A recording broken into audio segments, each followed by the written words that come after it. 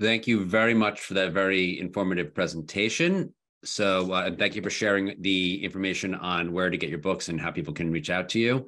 We're now going to begin our live Q&A session. I'll be asking questions as well as opening up to the audience. So um, I'd like to explain a little about how we're going to go about this process. We will we don't take questions directly from the chat. Instead, we ask everyone to, uh, to virtually raise their hand if you're not sure how to do this. What you need to do is click the reactions button, which is located second to the right in the Zoom window on the toward the bottom. Then you'll click on the raise hand function in the menu that pops up. We will take questions in the order in which they are received. When it's your turn, I will unmute you and I will prompt you to state where you're from and ask your question. We ask that everyone keep their questions brief and on topic. We will then mute you in order to give everyone a chance to ask the question as best we can. We won't be taking follow up questions. However, if you would like to ask another question, you can get back online. And um, and then um, I'll be asking questions as well, and we'll be going until approximately eleven o'clock this morning. That's Eastern time. So our first question from the audience is going to come from Rita. Rita, please state your name and where you. Oh, sorry, well, not your name, but where you're from, and ask your question. Uh, hi, Dr. Pawluk. I'm from Baldwin Harbor, Long Island, uh, New York, and uh, very good information. Now, the magnetic therapy is in for a while. Now, is this something new, and can the patient with shunt can use the magnetic therapy? So that's a very important question, and thank you. Um, magnetic field therapy is old, but it's relatively new in the U.S. And there are relatively few practitioners who are actively using it in the US, and there are relatively few medical providers who are expert at magnetic field therapy. So there are lots of doctors who are doing magnetic field therapy in their offices, but they have had very poor training very often. So they don't really know the full potential value of what they're doing. In the long run, though, most people need magnetic field therapy in the home setting. Because if you want to prevent aging, if you want longevity, you can't just treat a problem for 10 minutes or 15 minutes, one treatment, and then be done the body is constantly um, repairing itself, constantly replacing and repairing itself.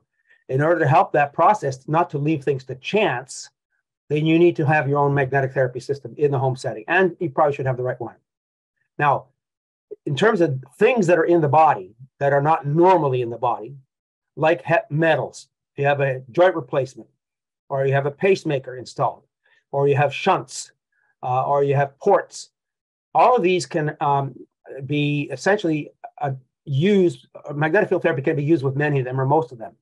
With pacemakers, you have to be extremely careful and you have to really know and work with your cardiologist to know whether you can expose that pacemaker to a magnetic field. You have to really be careful with pacemakers.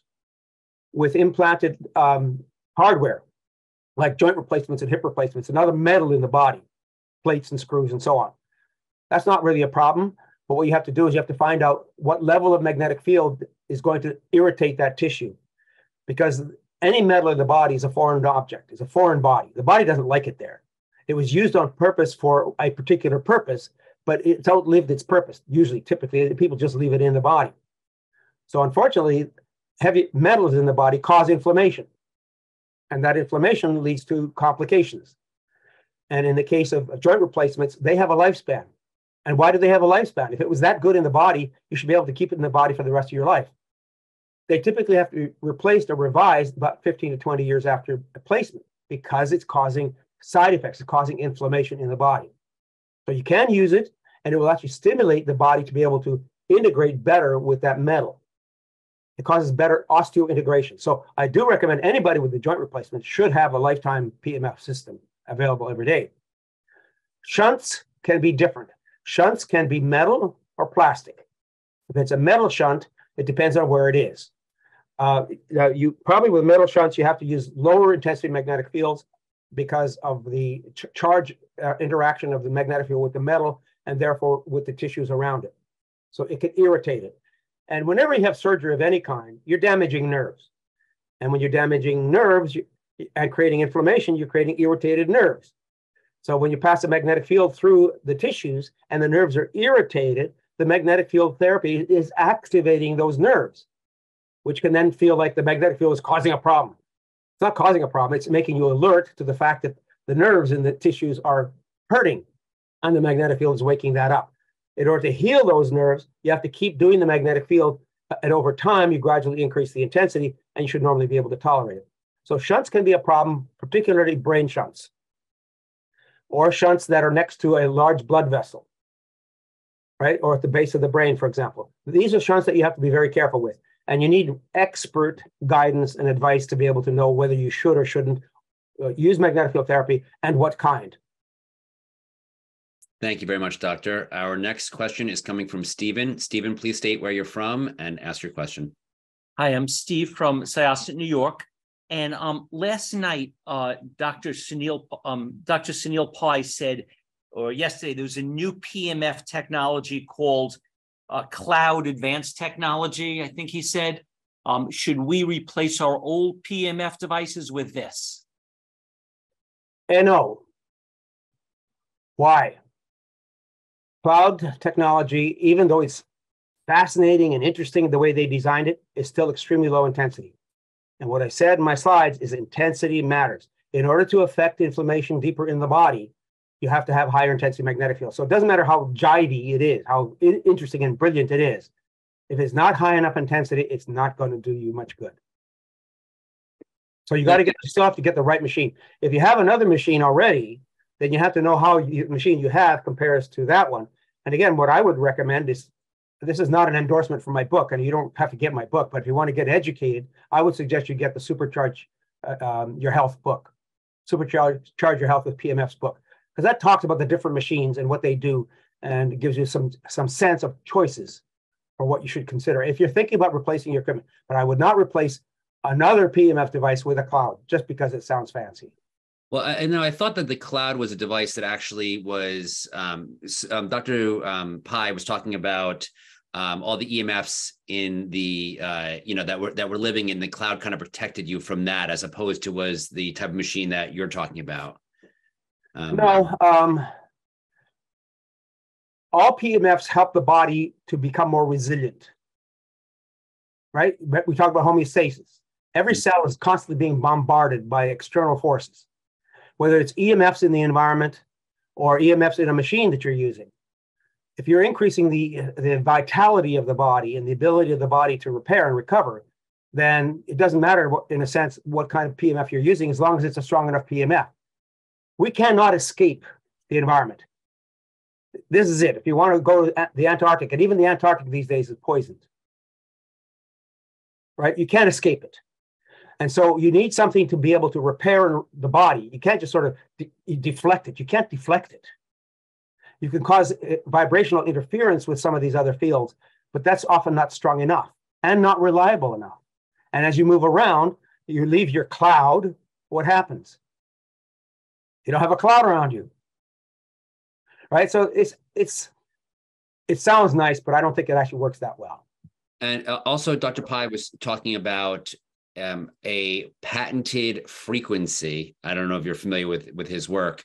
How is that something that that has any sort of extra benefit? I know you're talking about you know intensity versus frequency, but can that patented frequency range that they that they have uh, have beneficial effects over traditional uh, PEMF systems? Well, I, have been a, I've been working with magnetic fields for 30 years. I was, I was the vice president for the North American Academy for Magnetic Therapy in the early 90s. And we had these arguments all the time.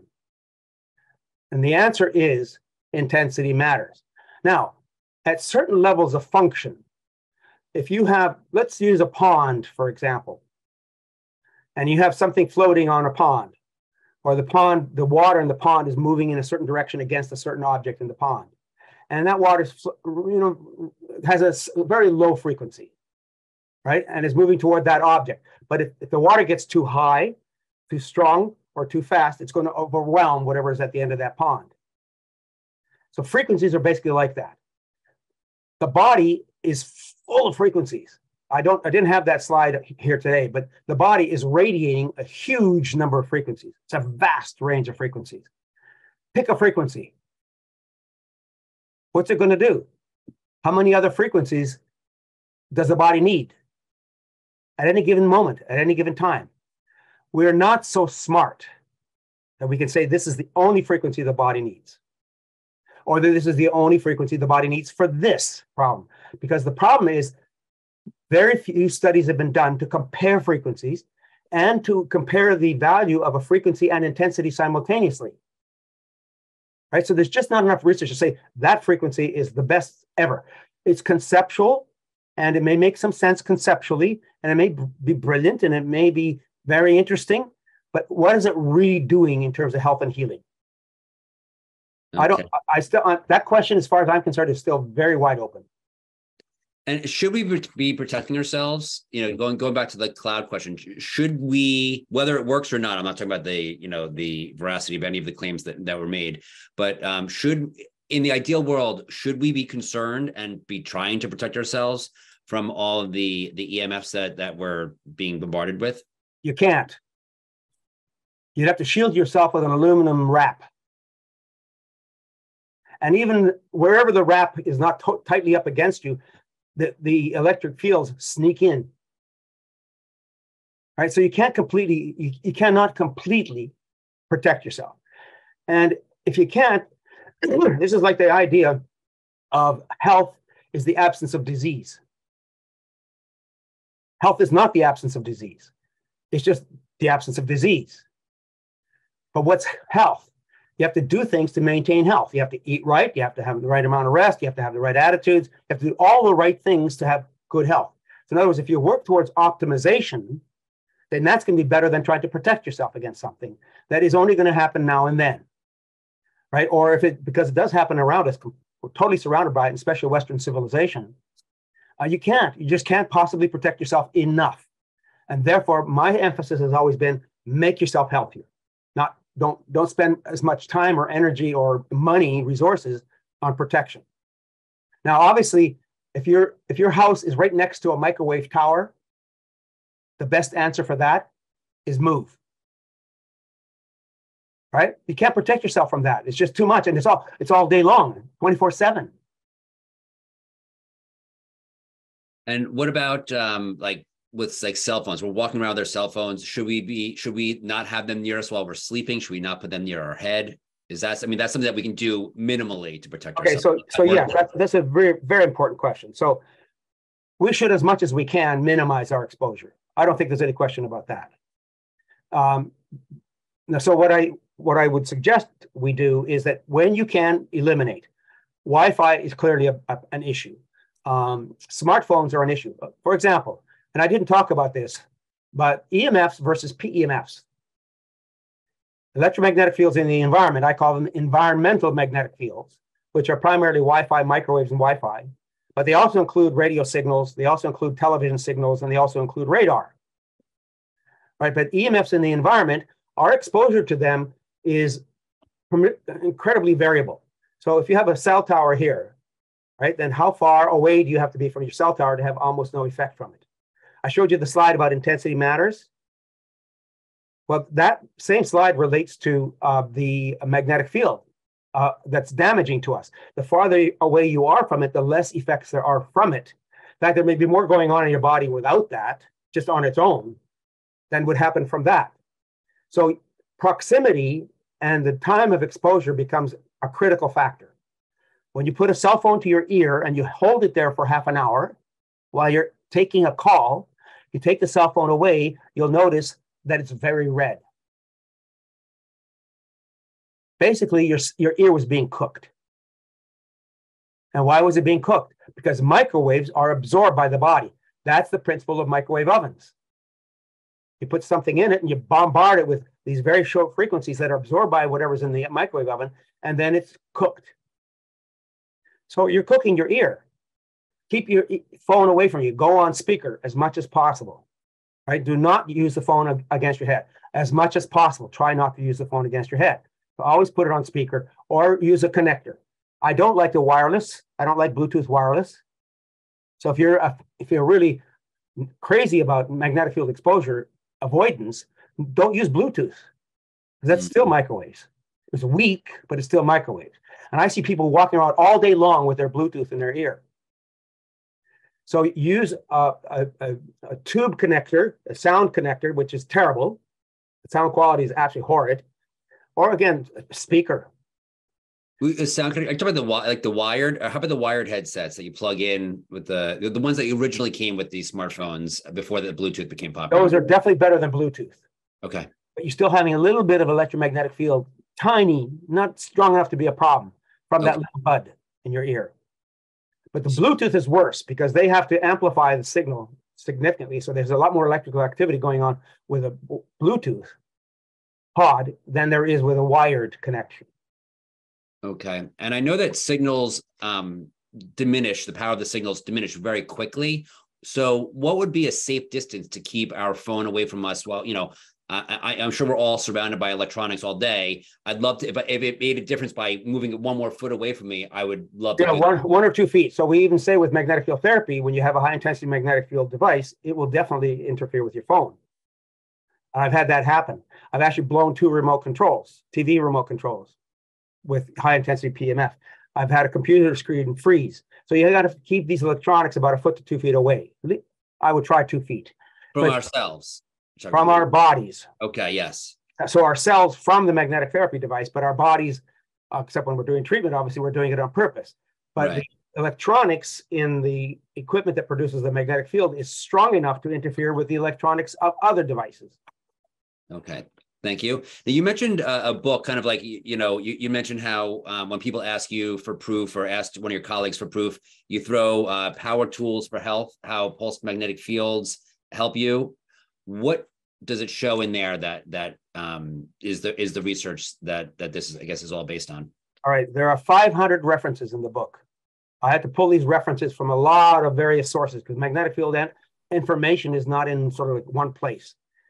Um, but I have references. I give references for each of the actions of magnetic fields, and that's critical because the actions are foundational. They're fundamental, and it doesn't matter what the disease is most diseases share the similar share similar kinds of actions.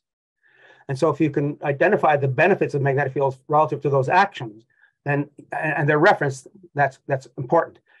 And then I review 50 different diseases or health conditions, and I provide references for those. So there's over 500 references in the book over a variety of different issues.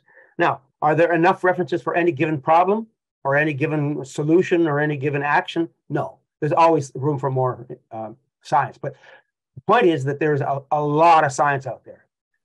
there. You can't make the statement there's no science.